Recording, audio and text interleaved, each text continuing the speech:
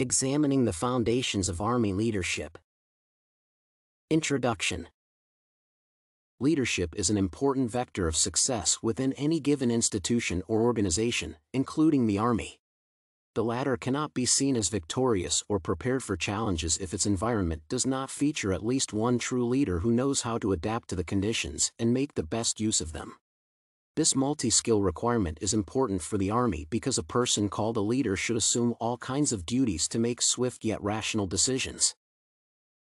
The main reason why many organizational goals cannot be achieved is the lack of leadership, which also points out the crucial nature of inspiration and authority that are entrenched in the field of headship.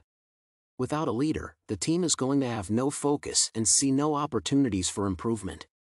The key advantage of having a strong leader on the team is decisive thinking that makes followers more willing to respect subservience and authority. The current paper is going to investigate the roles played by responsibility and loyalty, subordination and trust, and education and experience to highlight the inextricable impact of leadership on the Army. Foundations Responsibility and Loyalty responsibility and loyalty stand at the forefront of Army leadership because they lay the foundation for crucial leadership values promoted among subordinates. Most leaders knowingly utilize the history and their nation's loss to wake up the sense of accountability in their followers and develop a stronger bond between organizational values and the personal worldviews of the subordinates.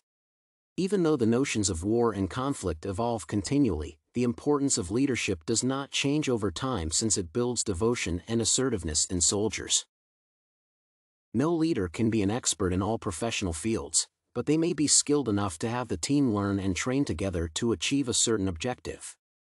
The concept of responsibility here relates to maintaining professional competence and ensuring that the Army embodies the country's values properly and does everything to achieve the preset objectives.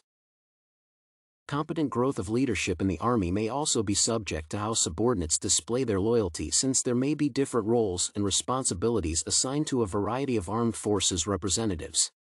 Every Army soldier has to remain loyal to the nation, and the key responsibility of the leader is to ensure that the statement above is still true. Based on democratic principles and the need to achieve excellence, Army leaders have to redefine their approach to followers to make flexible decisions and adapt to external conditions instead of capitalizing on rigidity. These two foundations of Army leadership cannot be ignored because they relate to how the Army may be able to adhere to the Constitution while also responding to the aspirations of society. Subordination and Trust the role of subordination may be explained through the prism of the government's capacity to cultivate sustainability while expecting the army to protect civilians and national interests on a global scale. This means that the leader has to have a clear understanding of what are the essential values to be defended and why their importance cannot be questioned or discounted. In other words, Army leadership is based on certain oaths that link back to the Constitution and unite soldiers around a common goal, which is to prevent and fight threats that could damage the country's integrity and well-being. Therefore, subordination may be expected to cultivate confidence in the followers and help them realize their strengths and weaknesses the mutual relationship that exists between the military and the government represents the value of trust, which may also be seen as one of the pillars of Army leadership. Command authority requires the leader and their followers to gain a better understanding of each other's condition before making any decisions. This means that military leaders should always have trust in their soldiers and vice versa the leader should also apply their wisdom to achieve results that are going to motivate soldiers to go further irrespective of how their morale was affected during the battle.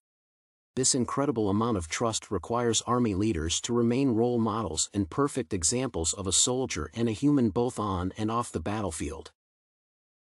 Education and Experience the last essential foundations of leadership in the Army are education and experience because they stand for professional competence development and application.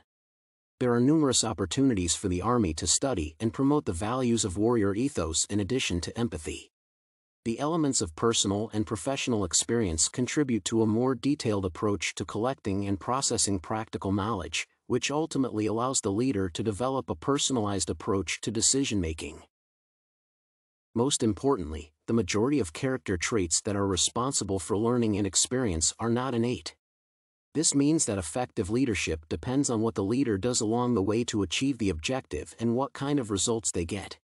A person cannot be qualified to lead if they do not display wisdom, professionalism, resilience, or any other behavior typical of victorious leadership. Individual educational efforts should become the key to one's leadership, as the Army requires any given soldier to advance their competencies continuously.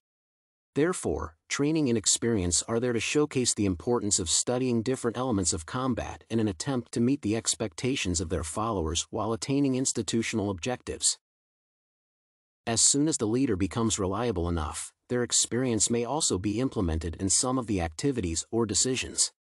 This ultimately allows leaders to improve their competencies in practice and not waste time on modeling situations or operating theoretical assumptions.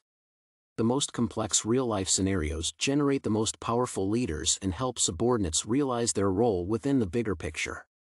Accordingly, education and experience are the two sides of one coin, affecting one's leadership capability to an extent where the person may become able to improve their headship aptitude on the fly. Conclusion It may be concluded that strong leadership may benefit the Army only in the case where the latter decides to focus on future initiatives and pays enough attention to how the followers see these long-term objectives the roles of subordination, responsibility, and education cannot be discounted because the Army requires a leader to be efficient and multi-skilled. From mentors to novice Army leaders, everyone should pay enough attention to lifelong learning daily to gain the capability of adapting to change and influencing their followers when necessary leadership is an integral part of the Army because it generates more value for apprenticeship and gets the team one step closer to victory when individuals respect the limits of subordination and know what they should do to accomplish the long-term objectives. With proper leadership foundations, the Army may become steadier and achieve an exceptional level of resilience in both subordinates and their leaders.